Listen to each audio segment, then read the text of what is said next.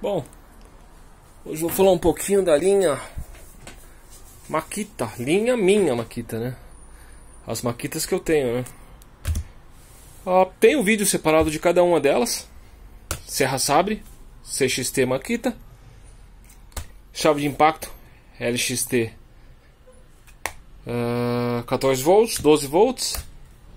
Uh, esse aqui é um torquímetro, parafusadeira torquímetro 9.6 volts Makita, linha profissional. Torquímetro eletrônico 14.4 volts, linha profissional Makita. Parafusadeira CXT, linha não muito profissional da, da Makita. E aspirador de pó 18 volts LXT Makita. Então, os que usam a mesma bateria são esses dois, LXT. Esses aqui, ó, são CXT, desculpa, dois CXT ali, linha LXT e essa aqui também carrega no mesmo carregador.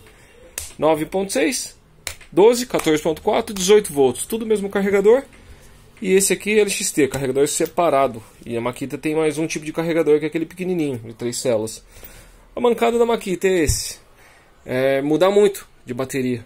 Tá vendo? Ah, linha profissional, linha meio hobby que eles falam, né?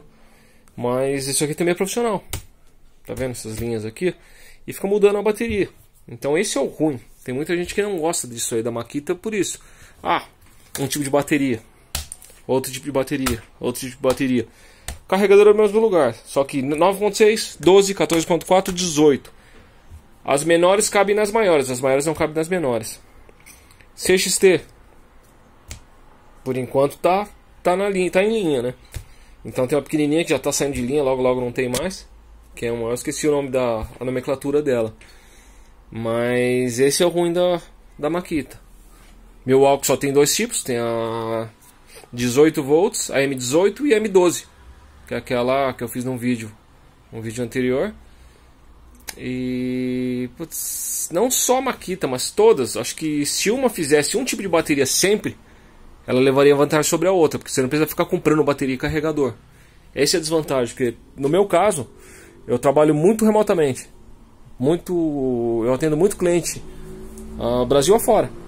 Então é ruim você ficar levando o carregador.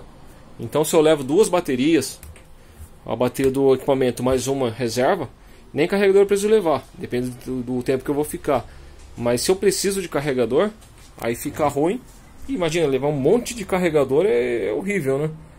Então uma dica também para quem quiser levar vantagem sobre a outra é ficar fazer sempre a mesma bateria. Então tá um pouco mais. Eu já tenho algum vídeo separado falando das funcionalidades delas. Isso é mais para fazer uma crítica também. E para mostrar um pouco do, dos equipamentos Makita, né? Curiosidade das baterias também já tem um vídeo.